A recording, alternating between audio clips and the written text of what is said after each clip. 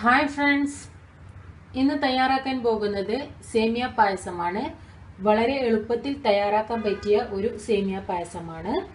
നമുക്ക് ഇത് ഞാനിപ്പോൾ ഇവിടെ ഒരു സോസ് പാൻ വെച്ചിട്ടുണ്ട്. ഇതിലേക്ക് രണ്ട് ടേബിൾ സ്പൂൺ ഗീ ഒഴിച്ചു കൊടുക്കാം.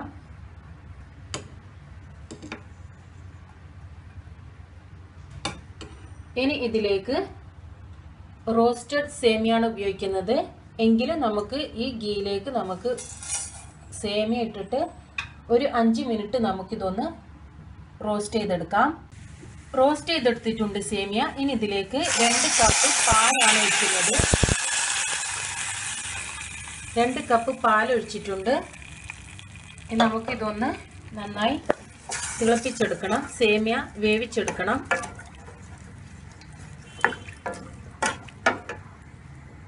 ഇനി ഇതിലേക്ക് കാൽ കപ്പ് കണ്ടൻസ്ഡ് മിൽക്ക് ചേർത്ത് കൊടുക്കാം.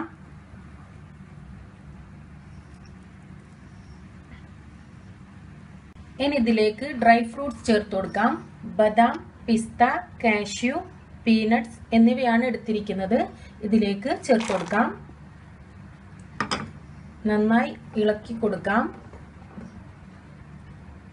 കണ്ടൻസ്ഡ് മിൽക്ക് ഇല്ലെങ്കിൽ മിൽക്ക് പൗഡറും അല്പം പഞ്ചസാരയും ചേർത്ത് പായസം തയ്യാറാക്കാവുന്നതാണ്. ഒരു അഞ്ച് മിനിറ്റും കൂടി നമുക്കിതൊന്ന് തിളപ്പിച്ചെടുക്കാം. കാൽ ടീസ്പൂൺ ഏലേക്ക പൊടി ചേർത്ത് കൊടുക്കാം. ഇപ്പം നമ്മുടെ സേമിയ പായസം തയ്യാറായിട്ടുണ്ട്. ഇനി നമുക്ക് ഫ്ലെയിം ഓഫ് ചെയ്യാം. ഒരു സെർവിങ് പാത്രത്തിലേക്ക് മാറ്റാം.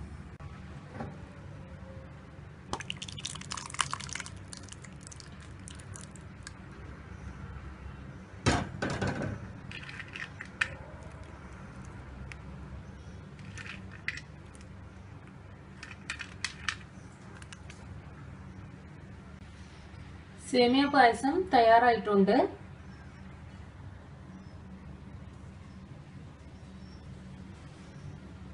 Thank you